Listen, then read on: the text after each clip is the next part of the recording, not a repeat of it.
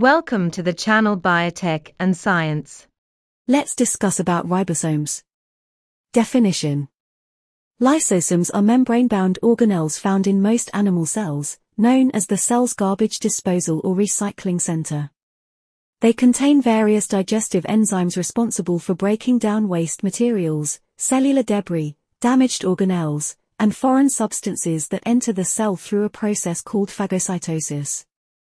These enzymes function optimally in the acidic environment inside lysosomes, where they degrade macromolecules such as proteins, lipids, nucleic acids, and carbohydrates into smaller components that the cell can reuse for energy production or building new molecules.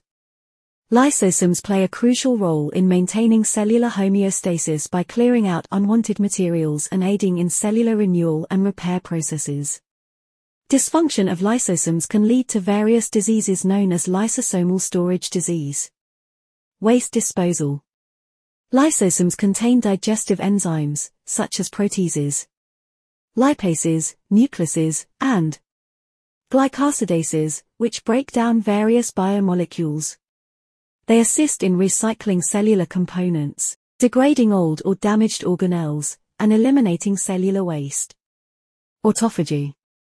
Lysosomes are vital in a process called autophagy, where they degrade and recycle damaged organelles or unnecessary cellular components to generate energy or build new molecules.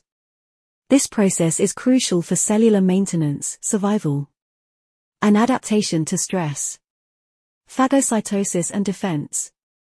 In immune cells like macrophages, lysosomes merge with phagosomes containing ingested bacteria, viruses, or cellular debris.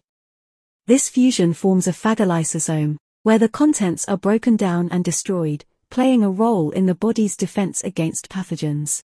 Thanks for watching. Don't forget to like, share and subscribe.